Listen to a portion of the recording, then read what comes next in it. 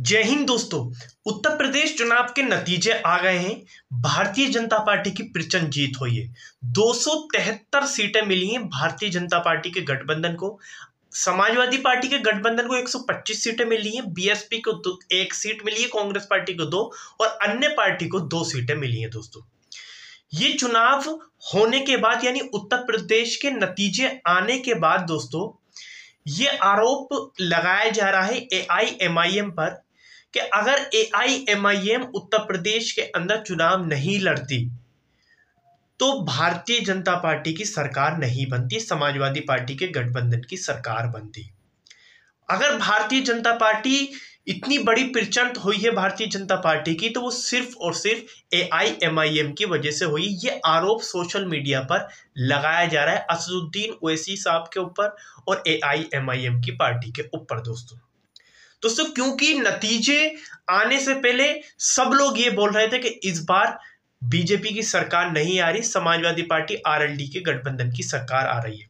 जैसे ही नतीजे आए, उल्टा हो गया। भारतीय जनता पार्टी के गठबंधन की सरकार बन गई।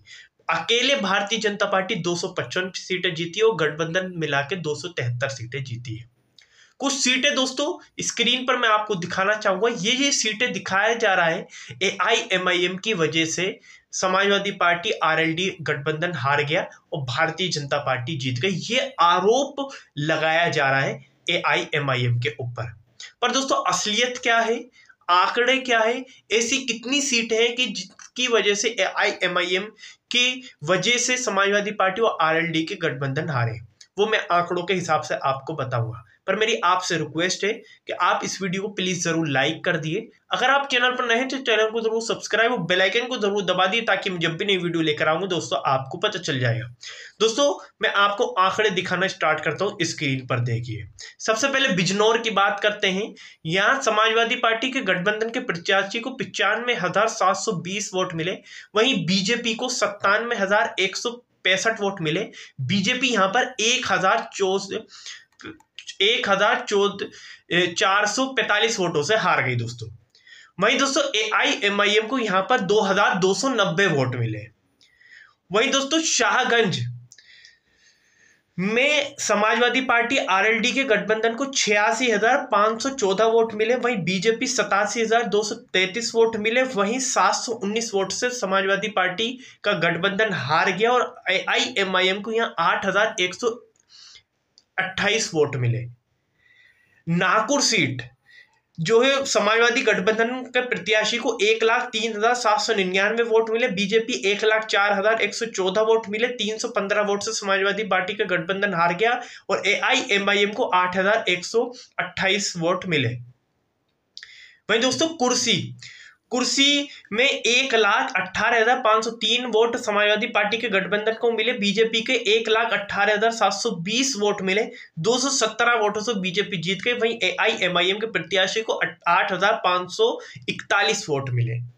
वहीं सुल्तानपुर में समाजवादी पार्टी के गठबंधन को इक्यानवे हज़ार सात सौ छह वोट मिले, बीजेपी को बानवे हज़ार सात सौ पंद्रह वोट मिले और बीजेपी एक हज़ार नौ वोटों से दोस्तों जीत गई। वही पाँच हज़ार दो सौ इक्यावन vote A I M I M को मिले। और आई को, में समाजवादी पार्टी के गठबंधन को बानवे हज़ार चवालीस वोट मिले, बीजेपी को तिरानवे हज़ार छह सौ इक्यानवे वोट मिले, बीजेपी यहाँ पर सोलह सौ सैतालीस वोटों से जीत गई।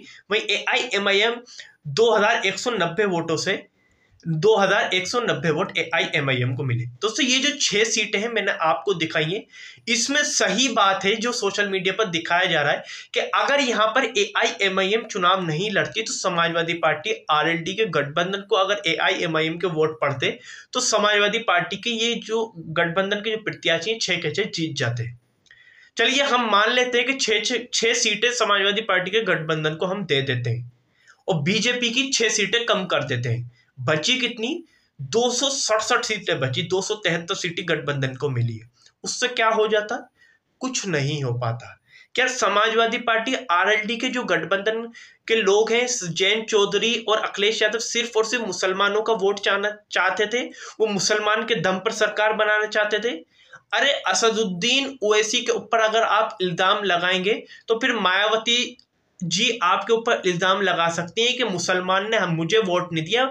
मैं समाजवादी पार्टी और आरएलडी गठबंधन की वजह से हार गई हार गई क्योंकि समाजवादी पार्टी के जो प्रत्याशी है, उन्हें समाजवादी पार्टी के प्रत्याशियों को मुसलमान ने वोट दे दिया, जो मेरा वोट बैंक था। तो ये इल्ज़ाम लगाना बिल्कुल बंद करें, अपनी हार को स्वीकार करें और ये झूठे आरोप बिल्कुल भी ना लगाएँ। चलिए आपकी क्या प्रतिक्रिया नीचे कमेंट बॉक्स में ज़रूर बताएँ। वीडियो को लाइक करें शेयर करें। चैनल को सब्सक्राइब करना बिल्कुल भी ना भूलें।